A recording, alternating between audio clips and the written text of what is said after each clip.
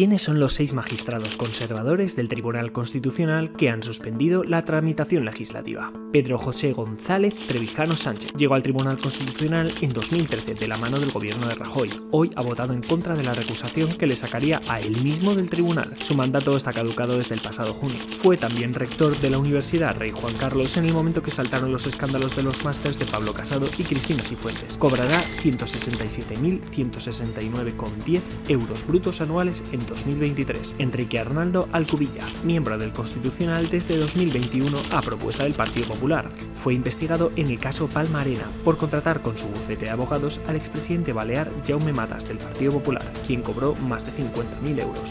El caso fue archivado. En 2023 cobrará alrededor de 141.000 euros anuales. Concepción Espejel Jorquera, magistrada del Constitucional desde 2021. Fue presidenta de la Sala de lo Penal de la Audiencia Nacional, que condenó a los raperos Baltonic y Pablo Hasse a la prisión por el contenido de las letras de sus canciones. Fue apartada por sus propios compañeros del caso Gürtel por su cercana relación al Partido Popular.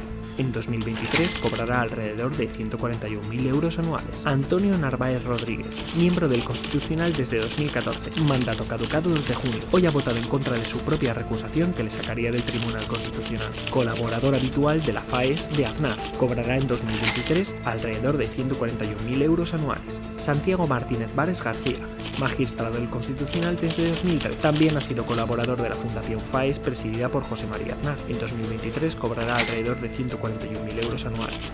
Ricardo Enríquez Sancho, magistrado desde 2014, ganado en el Senado con mayoría del Partido Popular. Cobrará en 2023 alrededor de 141.000 euros anuales.